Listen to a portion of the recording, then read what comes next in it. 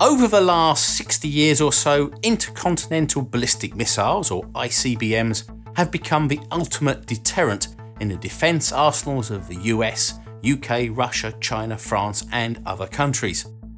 This produced the doctrine of MAD, or Mutually Assured Destruction, where if there was a nuclear conflict, no one would come out a winner. But as anti ballistic missile systems, or ABMs, have become better in recent years, there is the belief that at some point a first strike by a country with a fully developed ABM system could lead to a winnable nuclear conflict if the retaliatory strike could be neutralised.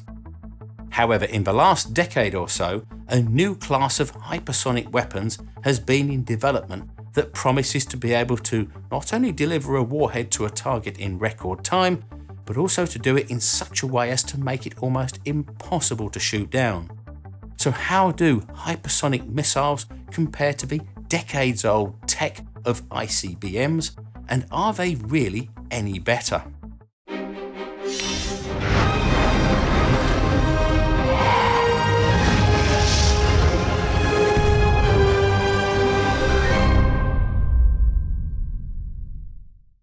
This video is sponsored by Brilliant.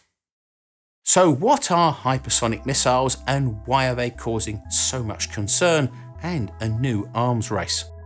Well, first we have to look at the ICBMs, and the clue is in the name Intercontinental Ballistic Missile. A ballistic object is one which is following a path under the force of gravity. A bullet fired from a gun or a bomb dropped from a plane are examples of ballistic weapons. Once they have been fired or released, they follow a predictable trajectory. An ICBM is no different. If one is launched from one point on the Earth's surface and aimed at another point, maybe thousands of kilometres away, it will follow the same path each time. It will launch up into space, the launch phase, fly through space where it builds up its speed and does any course corrections whilst it's still under power, the mid course phase. Then the payload will detach and the warheads and possible decoys will then fall to their assigned targets, the descent phase. Because the ICBMs fly high, they can be easily observed with radar and space based tracking. It's in the mid course phase when they're in space that they are most vulnerable and their trajectory can be worked out for ABMs to intercept them. Whilst this is doable, it's still extremely difficult and has been described as like trying to shoot a bullet with a bullet. The US has spent decades in developing ABM systems, and it's only in the last few years that they could say they had a workable solution, but it can only deal with a small number of incoming missiles at once and it's strategically placed to intercept maybe two or three coming in over the Pacific from North Korea. Now imagine that you could launch a missile that would travel as fast as an ICBM, but instead of having it just fall from space onto its target, it could fly like a cruise missile and take evasive action. This now becomes virtually unstoppable with current ABM systems, and is exactly what the Russians and the Chinese are doing because they believe that if the US can make its ABM systems tackle a much greater number of missiles, the balance of power would shift to the US and allow it to make a first strike, knowing that it could destroy any missiles sent in retaliation. There are two categories of hypersonic weapons hypersonic glide vehicles and hypersonic cruise missiles. Hypersonic glide vehicles work a bit like an ICBM in that they are launched on a rocket into space, but then they descend to the top of the atmosphere and use the shockwave created by the body of the craft in a phenomenon known as compression lift to skim across it. Then, as it nears a target, it drops down and acts like a steerable hypersonic glider, which makes it much more difficult to target by an anti missile defense system. Hypersonic cruise missiles can also be launched on a rocket or from a plane, but instead of going into space, they fly through the atmosphere like a normal cruise missile. The difference is in their speed. Instead of using a conventional jet engine like in the Tomahawk cruise missile, they use a scramjet engine which only works above Mach 4, so they have to be initially boosted to that speed by a rocket. Then the scramjet takes over.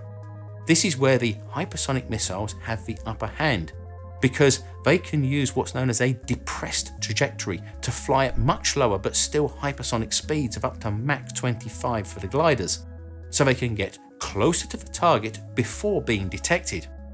This not only leaves very little time for the opponent to figure out their course, they can also fly under existing ABM systems, which are designed to look for and intercept ICBMs coming in high from space and on a predictable trajectory. Their hypersonic speed also makes them almost impossible to shoot down at low altitudes, and they can maneuver so their course can't be predicted. Hypersonic cruise missiles also have been touted as extremely potent anti ship missiles, because even without a warhead, hitting an aircraft carrier at Mach 5 or above would cause a lot of damage. It might not sink the ship, but it would more than likely put it out of action. But there is a problem with hypersonic missiles which is affecting all the countries which are developing them, and it's caused by the very thing which gives them their advantage, namely their speed. Flying at hypersonic speeds in the atmosphere creates a tremendous amount of heat, which increases with speed. The SR 71 Blackbird spy plane flew at Mach 3.2 at 70,000 feet, where the air is only about 5% of the density as it is at sea level, and that caused the leading edges of the wings to heat up to 560 degrees Celsius. That's hot enough to melt some aluminium alloys. The warheads of ICBMs also travel at hypersonic speeds during their final descent stage, but only for a minute or two, and they use an ablative heat shield to protect them much like a returning spacecraft. Hypersonic weapons, on the other hand, travel almost their entire journey, which could be thousands of kilometres, at Mach 5 and above. At sea level, where the air is at its densest, the maximum speed of these missiles is about Mach 7. The heat created at these speeds can cause the materials that the missiles are made out of to exceed 2000 degrees Celsius, so they have to be made out of exotic composites. At these temperatures, the air starts to chemically react with the materials, causing them to break down. It's also hot enough to cause plasma to form around the vehicle, which can affect the GPS guidance systems and course correction commands sent to it from outside. This also affects the accuracy of the missile. At hypersonic speeds, variations in the wind, temperature, and other environmental factors are magnified, making it much more difficult to target something like a ship accurately compared to a normal subsonic cruise missile.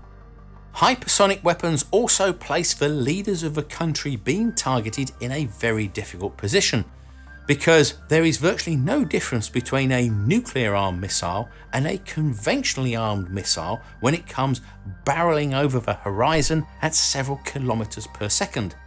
And with so little time to react, they might just order an all out retaliation rather than wait to see how big the bang is, which is why they are seen as being so destabilising. At the moment, there is virtually nothing that can stop them except the equally exotic directed energy weapons, which are even further down the pipeline than the hypersonic weapons themselves. But with upgraded space based detection, it will be possible to track the hot missile bodies almost from their launch which will give about the same amount of warning time as that of a normal ICBM. So it's unlikely to affect the balance of power for a while because there is still no practical way to defend against a full scale attack from dozens to hundreds of ICBMs. So even if Russia or China were to have hundreds of hypersonic missiles, the US still has at least 1500 warheads that it could retaliate with. Now, the US has been seen as being in a bit of a catch up situation on hypersonic weapons, with both China and Russia taking the lead, even though the US has been working on them for decades. The thinking in the US was that an ABM shield was a better approach, something which we can now see but can be sidestepped with hypersonic technology, which just illustrates the point that things don't stand still. What's a good idea today isn't necessarily going to be a good idea tomorrow, and you have to keep learning new skills and techniques. Which brings me rather neatly onto our sponsor for this video, Brilliant. Brilliant is a problem solving website that can help you develop your learning skills by breaking down complex problems into small, easily understandable parts, then putting them back together to show the overall solution build up to an interesting conclusion.